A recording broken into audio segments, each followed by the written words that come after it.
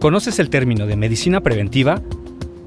Mientras que la medicina curativa se enfoca en tratar las enfermedades una vez presentes, la medicina preventiva se refiere a mantener un cuerpo que no se enferma fácilmente. ¿Cuáles son las consecuencias cuando te enfermas? En primer lugar, tienes que faltar a clases o al trabajo. Aunque no tengas que ausentarte, tus estudios o trabajo disminuirán su efectividad, porque no te puedes concentrar. Si estás contagiado de algún virus, puedes contagiar a otras personas. Además, tienes que pagar los medicamentos y otros gastos. Por lo tanto, la medicina preventiva te ayuda a mantenerte sano y libre de enfermedades. La idea es muy sencilla, dejar de gastar en enfermedades e invertir en salud.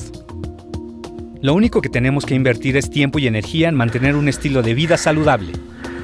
Hacer ejercicio, alimentarnos sanamente, dormir bien y controlar el estrés nos ayudará a tener un cuerpo resistente contra enfermedades y a fortalecer el sistema inmunológico. También es muy importante tener una buena salud intestinal, ya que la función principal del intestino es absorber los nutrimentos. Puedes apoyarlo consumiendo alimentos ricos en fibra y probióticos que contribuyen al correcto movimiento de los intestinos.